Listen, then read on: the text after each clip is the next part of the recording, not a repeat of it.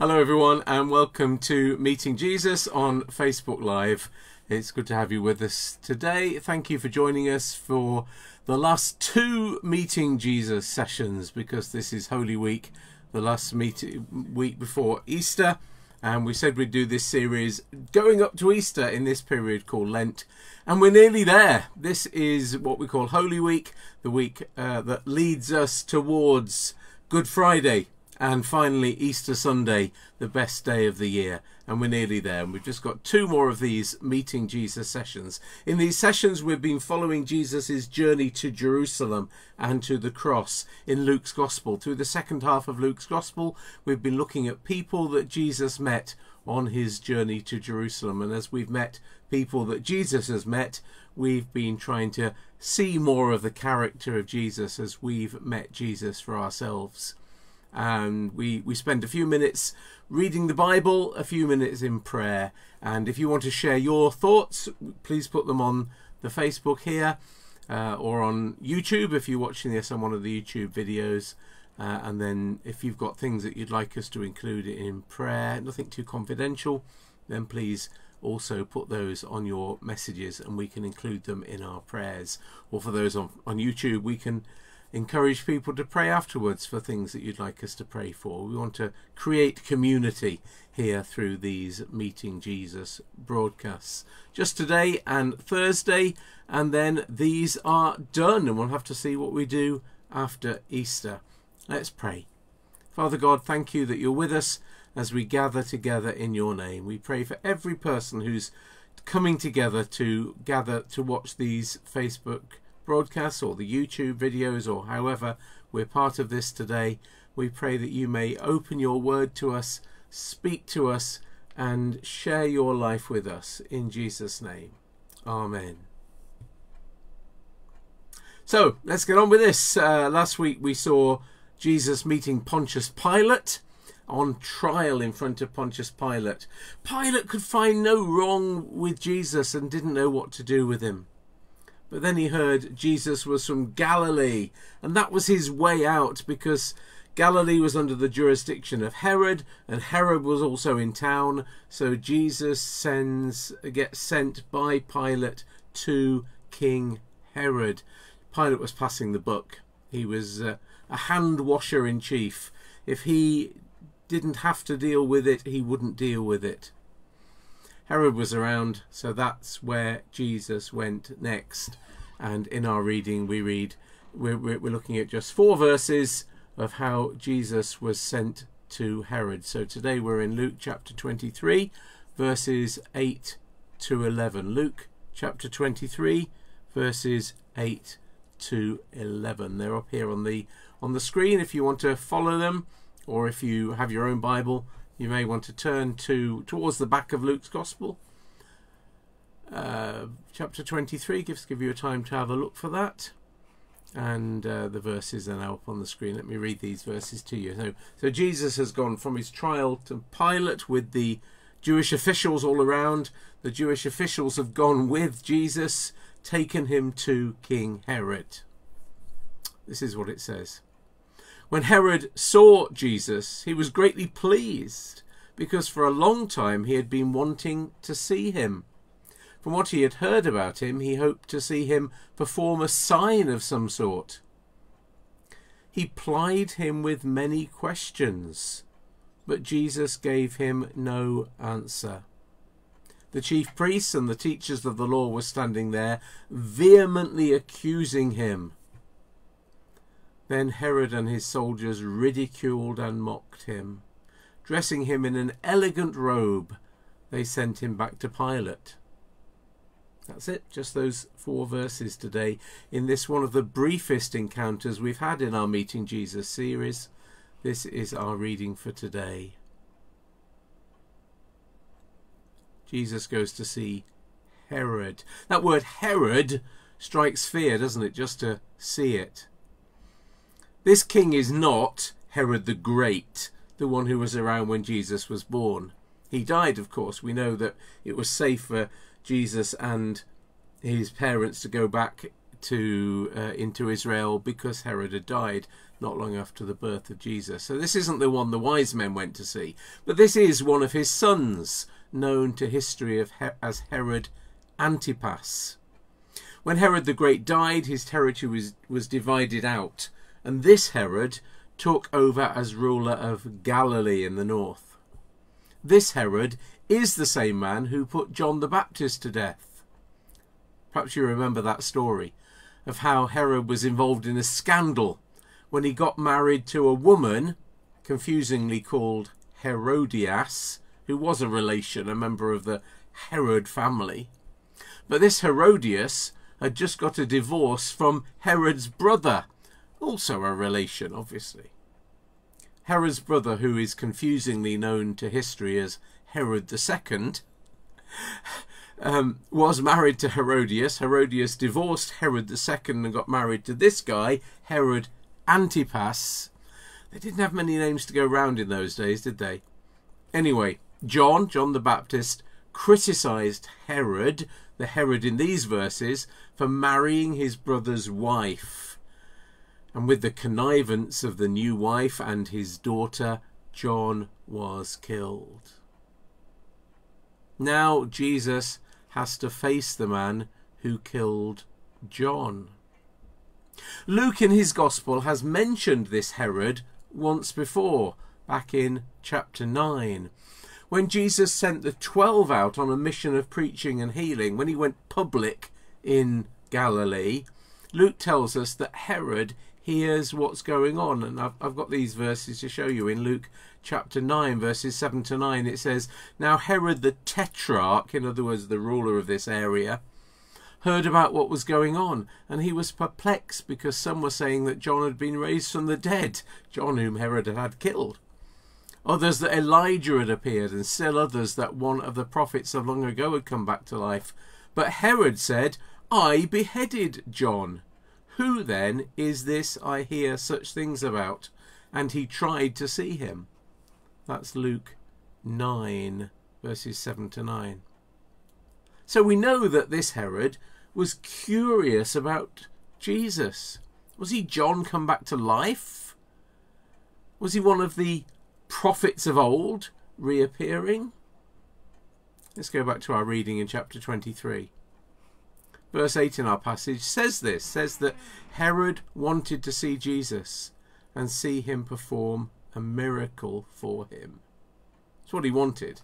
Wasn't really bothered about finding out about Jesus as as a, a, a prophet or a teacher or the Son of God. He wanted to see a miracle. He'd been tricked into killing John by his new wife and her daughter. Perhaps he even had a conscience about that.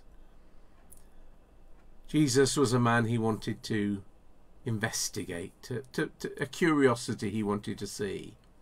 Who was this Jesus? What was it about this Jesus that excited so much attention? But Jesus in front of Herod remains silent. Jesus decides that Herod is not sincere, is not even as a sincere seeker after the truth as Pilate. Herod is actually the only person whom Jesus refuses to answer.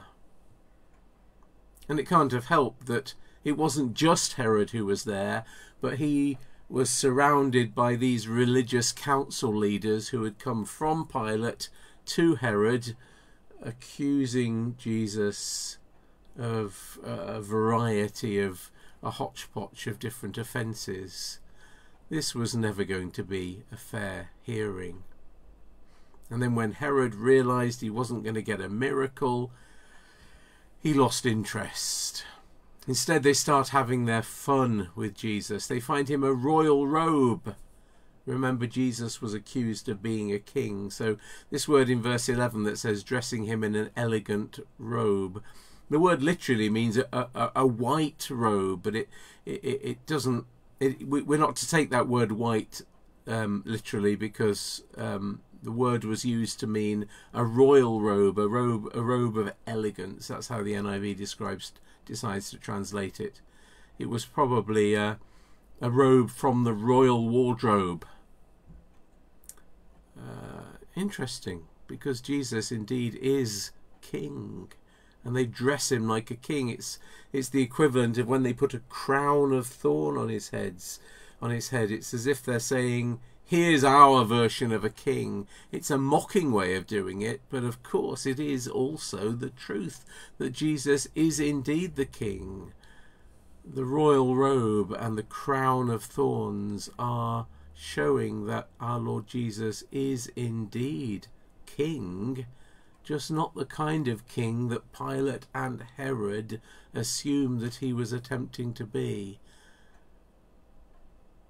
But the treatment they give to Jesus here is degrading and humiliating. Herod and the soldiers and the religious leaders all stand in judgment on this man who claims to be king. But the truth is hidden in plain sight because this Jesus is the king who is about to come into his kingdom. This mockery, led by Herod, judging this man, stands as a judgment not on Jesus, but a judgment on Herod and the religious leaders and the soldiers.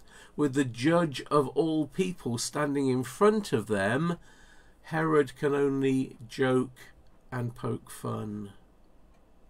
This is the cruel irony of all that went on in Jesus' trial before Pilate, before Herod, before Pilate again, and before the Jewish leaders. The truth is there if only they would open their eyes to it. What do we learn of our Lord Jesus here? We see him remaining firm and calm and in control, even in complete silence. There's an example here to persecuted believers those who face judgment even though they've done nothing wrong, to stay firm. Sometimes silence is the best response. When we face judgment and mockery, not many people where I live have faced persecution. Maybe some people watching this are in that position, but not many people in this country where I live or in most of the world have this level of persecution, but some still do. But even if we have what we might call opposition, persecution, judgment, mockery, we can still be like Jesus, staying firm and strong and letting the truth speak for itself. And sometimes the truth is just there under the surface. But for a moment, let's just turn the question around. If you were the judge here, what do you make of Jesus? Because the judgment you make will rebound back on you as it did on Herod and the religious leaders. He is the king.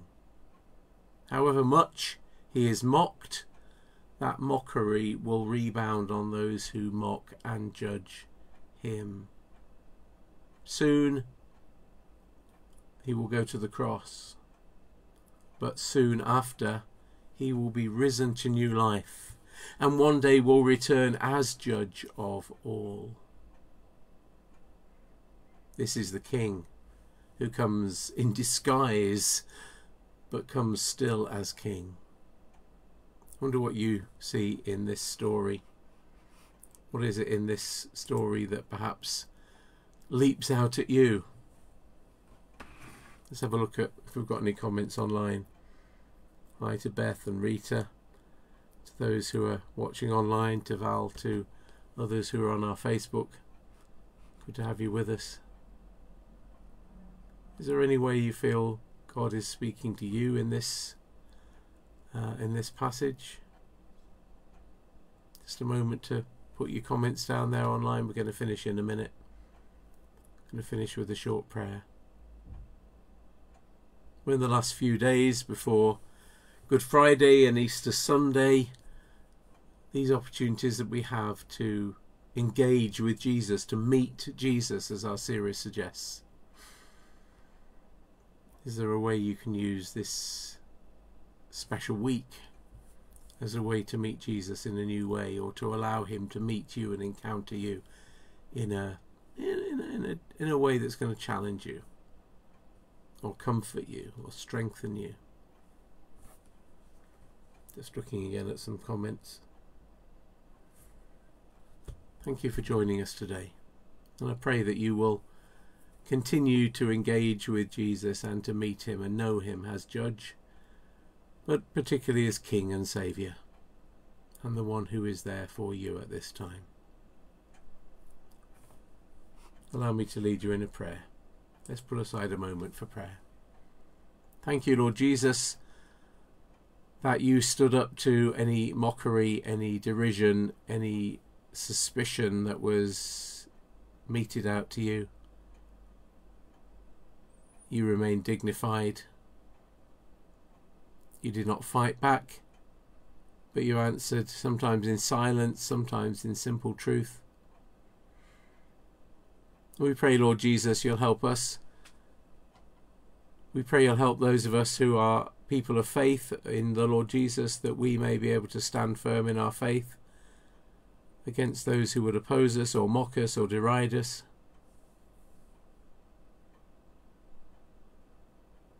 And we pray that that derision and mockery may convince others to have faith in you. We thank you that you are truly King, not simply the uh, inverse, the mockery of version of King that you were made to look like on that day when you were tried. Lord, be King in our lives and have your way among us, we pray. Lord, we pray for this world in need at this uh, Easter time. We pray, Lord, that you may come among us by your power, that you may heal the hurting, that you may strengthen the weak, that you may be with those who need you in special ways today. We pray before you for those who are on our hearts and minds, for your care and, and love and attention. May the victory of Easter be with us and those who need you today.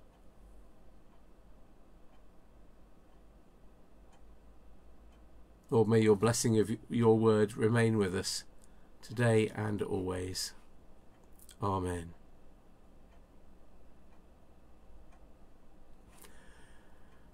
So I think that's everything from me today. Now we've got one more of these sessions. That's on Thursday, which is Maundy Thursday at two o'clock, and we're going to skip ahead a bit in the story because we're going to be meeting. Jesus is meeting with the thief on the cross on Thursday at two o'clock. Uh, also in our church, Trinity Baptist Church Gorton, we have uh, a service on Good Friday. That's on Good Friday at 10:45, and then a family service at 10:45 on Easter Sunday. Both of those not in our building, but online on Facebook and Zoom. So it'll be here on this Facebook page, and also on a Zoom connection that you can get from me, or you can find on our church website, trinitybaptistgorton.org. These sessions go on to YouTube, and to find them on YouTube, you have to go to youtube.com and then search Trinity Baptist Gorton, and you will find them there. Um, that's it, I think. Thank you very much for joining us today. Uh, there's also our phone message on 01615094409. Other than that, I will be back on Thursday at 2 o'clock. Thank you very much for your company, and uh, I'll see you then. So for, uh, for now, from me, Wayne Clarke, bye bye and God bless. Bye.